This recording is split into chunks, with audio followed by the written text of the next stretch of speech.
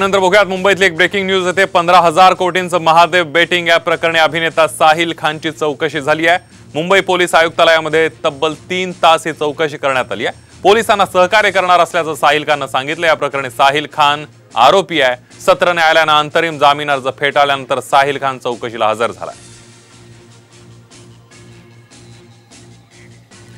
आपण बघतोय अभिनेता साहिल खानची चौकशी करण्यात आलेली आहे. जामीन अर्ज फेटाळल्यानंतर साहिल खान हा चौकशीसाठी हजर झालाय.